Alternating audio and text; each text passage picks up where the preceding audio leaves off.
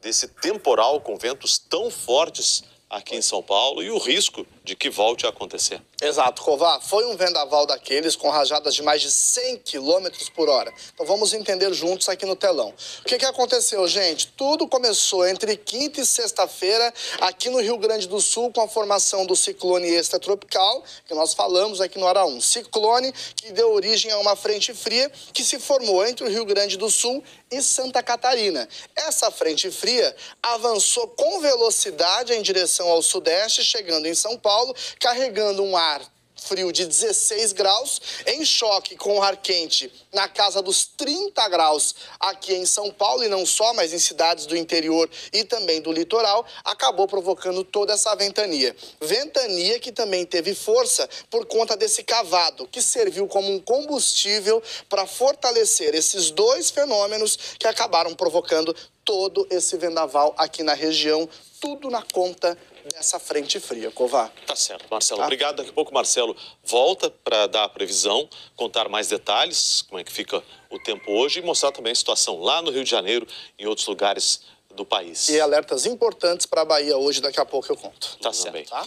E como é que fica o tempo hoje, Marcelo? Vamos lá, vamos seguindo então adiante. Pois é, gente, depois desse fim de semana, com sérias consequências, principalmente em partes dos estados de São Paulo e do Rio de Janeiro, por conta da ventania e a chuva e também essa ressaca, a semana começa sem vendavais por aqui. Menos mal. Mas tá? você ficou impressionado com o tamanho das ondas lá é, no Rio de Janeiro. Exa isso continua. Isso continua. Isso continua. Tem tá. a ver um pouco do que, que eu expliquei no comecinho do Hora 1, que é aquele ciclone que passou lá no Rio Grande tá. do Sul entre quinta e sexta, que está deixando o mar muito mexido ainda, viu, uhum. Cova? Inclusive, gente, a frente fria que passou pelo sul e o sudeste continua avançando pela costa e já está na Bahia. E de acordo com os meteorologistas, as atenções estão voltadas agora para o estado, justamente porque essa essa frente fria deve provocar temporais na região ao longo de todo o dia. No satélite, a gente vai entender o que está acontecendo. Próxima tela. Isso a gente explicou o que aconteceu agora há pouco. Agora sim, essa frente fria que passou por São Paulo, passou por Minas, Rio e Espírito Santo,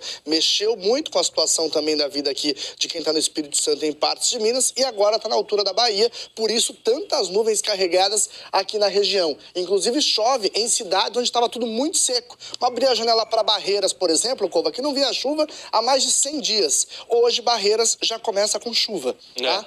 A, import... a câmera está virada, né? Normalmente ela tem um ângulo isso, é que eles colocaram para pegar bem o horizonte ah, mesmo. Você vê na tela, uh -huh. ó, tá bem nublado, tá bem coberto.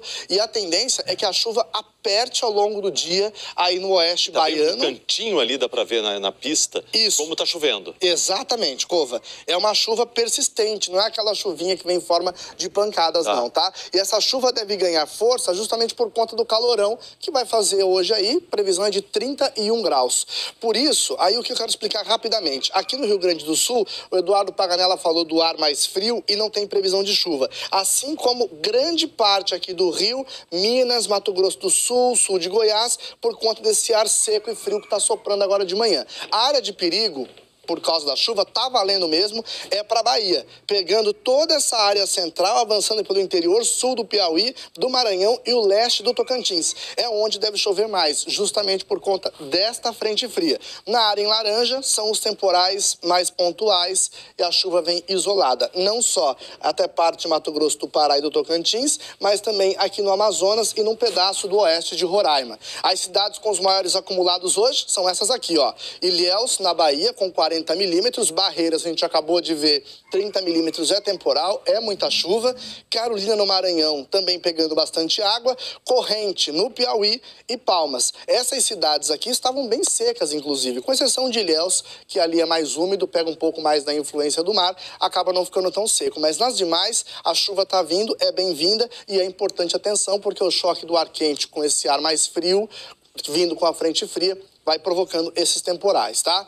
Entre São Paulo e Rio de Janeiro, a preocupação é a ressaca no mar, gente. De Ilha Comprida aqui no litoral sul de São Paulo, até São João da Barra, no litoral norte do Rio. Vimos agora há pouco a Vitória Henrique, situação uhum. super complicada, onda de até 3 metros e meio ao longo de todo o dia de hoje o mar tá bravo. E por quê? Porque a gente tem um ciclone em alto mar, que saiu lá do Rio Grande do Sul e está deixando o mar muito bravo, muito revolto. Então, atenção para essa região, para você que está por aí. Praia não é aconselhável ao longo do dia de hoje, apesar do calor, não é muito a cara de uma praia. A próxima tela, aqui no centro-sul, o dia vai começando mais frio, principalmente em Urupema, com mínima de 5 graus, São Paulo, mínima de 14, 10 para Curitiba agora de manhã, 15 para Florianópolis, 14 para Porto Alegre, 17 para o Rio e 16 aqui para Belo Horizonte. Vamos só abrir a janela para São Paulo, Cova, para dar uma olhada aqui na capital paulista, Avenida Paulista. Sem chuva, tempo firmando por aqui, o que vai ajudando aí nesses trabalhos para tentar restabelecer a energia para onde ainda não tem luz, e sem recolher ventania. as árvores, né? Porque o que Exato. tem de árvore ainda na cidade é um negócio impressionante. E não só, viu, Corvo, mas cidades do interior, Campinas, Sorocaba, no litoral de São Paulo, estão enfrentando sérios problemas também com a questão da chuva, falta de energia em alguns pontos ainda. Tá bem. Obrigado, Marcelo. Até. Impressionante. Você né? viu Nova Delhi? Vi. Como é que tá? Agora Manaus também. Desse jeito, Cova. Não dá para enxergar nada. Vamos lá, tem previsão de chuva para a região norte? Até tem, Cová, mas é essa chuva mais isolada, que é o que vimos nessa imagem. Você vê ah. aquele céu escuro ali, aquela Aí quando nuvens... chega, chega fazendo estrago. Isso, chega trazendo essa ventania toda, por isso que a chuva é isolada, mas não significa que ela não seja forte, muito pelo contrário. Uhum. Onde ela cair, ou a cidade que ela chegar ali, essas, essa área de instabilidade, ela provoca ventania e pode fazer com que a chuva caia concentrada num ponto. Mas não é aquela chuva consistente que resolve que muita tanto coisa. Tanto precisa. Exatamente isso. Exato. Agora, gente, é o seguinte: feito isso, está super calor na região norte, como a gente já viu há pouco, calor, que a gente está vendo essa poeira, a fumaça, e hoje vai continuar assim. Vamos dar uma olhadinha aqui nas temperaturas previstas para hoje. Ó. Hoje, em Manaus, a previsão é de 33 graus. Não sai da casa dos 30, né, gente? Está bem quente por aí ainda. 34 para Rio Branco e Porto Velho, 33 para Boa Vista, 34 aqui para Macapá, entrando no Nordeste, 37 para Teresina, 32 para Fortaleza, também para o Recife, 31 para Maceió. Aqui em Salvador, 29 graus. Vamos abrir a janela para Salvador aqui pelo seguinte, gente. Aqui em Salvador, olha só. Olha só. A chuva está se achegando, está se ajeitando, tá? Já chove no interior da Bahia. Salvador, cidades da região do Recôncavo Baiano vão começar a pegar essa chuva mais ao longo da manhã. Por isso, muito cuidado, porque a frente fria que passou pelo sudeste Está na altura da Bahia agora, por isso que a chuva vai apertar bastante. Então, muito cuidado hoje aí em Salvador, tá, gente? Inclusive, se na sua cidade estiver chovendo, né, Cova? Isso, compartilha manda, com a gente. Manda informação, vídeo, foto, compartilhe com a gente. Você que mora aí em Salvador já olhou pela cara aí do, é. do horizonte, cara do céu, que tem que sair hoje com guarda-chuva, com capa e tomar cuidado. Exato, bem destacado. Isso. Vamos para o mapa agora para dar uma olhada aqui. São Paulo, Rio, até Espírito Santo aqui em Vitória, BH, Curitiba, Florianópolis e até Porto Alegre não está temperaturas mais amenas por conta desse vento que está soprando mais geladinho agora de manhã. O dia começa até que mais frio por aqui, por conta de uma massa de ar gelado e seco que está passando pelo Rio Grande do Sul.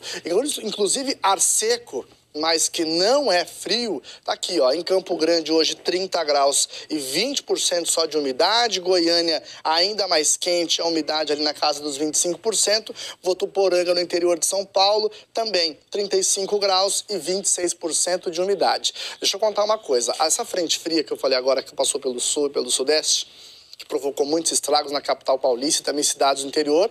Tá aí na Bahia, é preciso cuidado, tá, gente? Chuva que vai atingir, inclusive, o sertão nordestino. Ó aqui, como é que ela vai se distribuindo hoje? Rodou a próxima tela.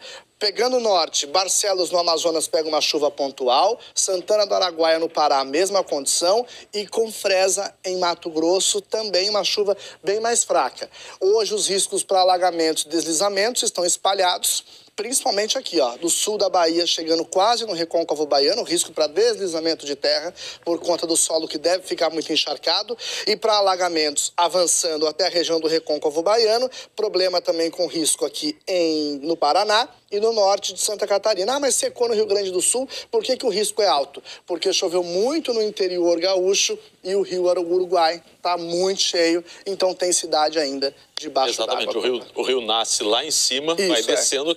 Quantidade de água É, ele vem fazendo a curvinha tudo isso. aqui, né? E desemboca aqui. Por isso está tão complicada aquela região, Cova. Isso aí. Obrigado, ah, Marcelo. Vamos dar uma olhada nas mensagens? Então, vamos lá. Esse alerta de ressaca, como a Vitória acabou de falar, está mantido pela Marinha do Brasil e os temporais vão apertar no Nordeste hoje, tá? Portanto, gente, vamos a alguns destaques rapidamente aqui no telão. Olha, hoje no Centro-Sul, o tempo começa a firmar, tem baixa umidade do ar, mais em Mato Grosso do Sul, interior, interior de São Paulo, Patos de Goiás, interior do Paraná, o ar fica mais seco e o amanhecer agora de fato é mais frio hoje, tá? Na região centro-sul. Centro-norte, temporais isolados e muito calor ao longo do dia. E o nordeste, como eu disse, a chuva fica isolada em partes do nordeste e muita chuva mais na Bahia e aquela sensação de abafamento, tá? O alerta de ressaca tá valendo entre Ilha Comprida, litoral sul do estado de São Paulo, e São João da Barra, no norte do Rio de Janeiro, tá? As ondas podem chegar aos 3 metros e meio e ultrapassar a faixa de areia em toda essa área que a gente está falando, tá?